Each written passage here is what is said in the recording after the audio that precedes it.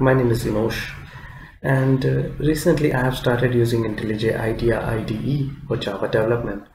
Earlier to this I was using Eclipse IDE for the same. I have used Eclipse for around about 7 to 8 years now and uh, I am finding it a little difficult to adapt IntelliJ IDEA shortcut keys. I always tend to press Eclipse shortcut keys and uh, the things doesn't work out and if I want to debug anything on IntelliJ, I find it very difficult. And IntelliJ has provided us a feature called Keymap. So if you go in File and in Settings, here you will find key map and by default it is on default option. So if you click default, there will be a drop down.